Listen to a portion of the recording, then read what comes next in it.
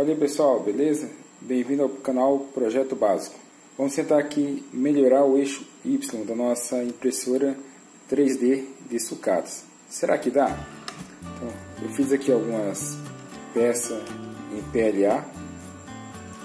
Então não tem um acabamento muito bom por ser uma das primeiras peças que eu estou fazendo e pelas condições que estava a impressora.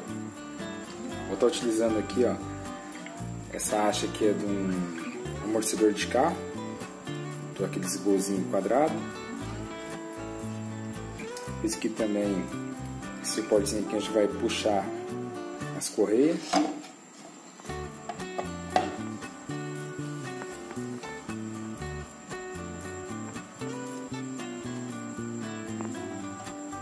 Então, eu vou estar mostrando para vocês aí no vídeo agora como era antes dois modelos que eu tinha antes.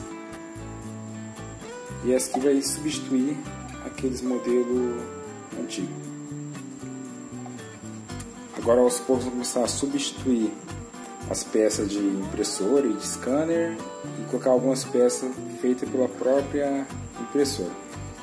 É, eu não tenho muito conhecimento de impressão, estou apenas há poucos dias trabalhando em cima disso, mas já deu para ter um pequeno avanço já. Para quem não entendia do, do nada, estou partindo do, do zero. Quero agradecer também aos meus amigos que estão dando uma força. Em especial ao Eduardo Araújo. Então é isso que eu tinha que trazer por hoje. Se você não é inscrito no meu canal, se inscreva, deixe seu like, compartilhe, é, dê sugestões nos comentários também.